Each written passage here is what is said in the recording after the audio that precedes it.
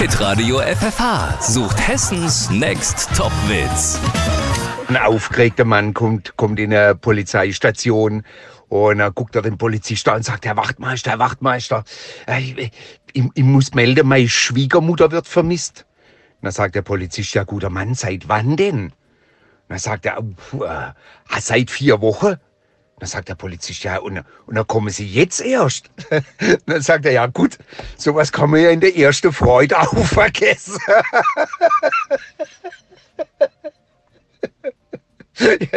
in der ersten Freude.